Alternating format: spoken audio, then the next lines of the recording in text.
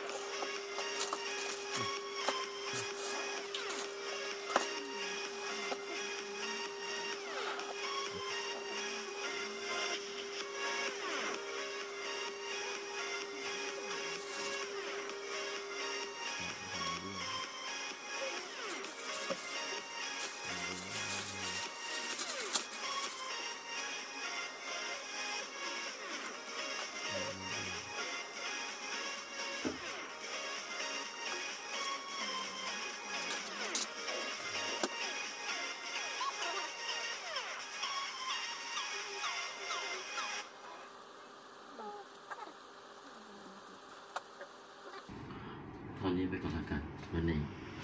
อยากจะอันนี้ล่าสุดจัดเมื่อกี้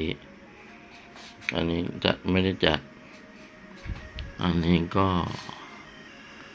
แค่ยัดเข้าตู้เฉยๆ อันนี้ยังไม่ได้ทำอะไร กล่อง